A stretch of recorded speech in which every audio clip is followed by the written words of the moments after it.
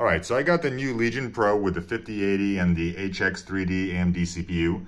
I rolled back to Windows 10 as I'm not a fan of 11, and I spent almost two hours trying to get either the Ethernet or the Wi-Fi working with absolutely zero success. Tried everything under the sun, installing the drivers manually. I, what was very strange is the internet only worked with a USB adapter for Ethernet. When I actually plugged the Ethernet into the computer itself, it would not detect the internet. The minute I wiped the OS and installed Windows 11 without even internet, it installed both the Ethernet and the Wi-Fi driver.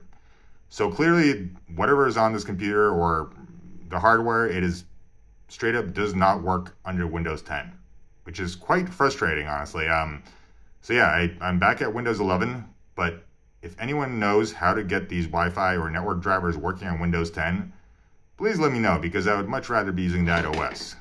But uh, this is where I'm at now. So yeah, I was forced to go back to 11.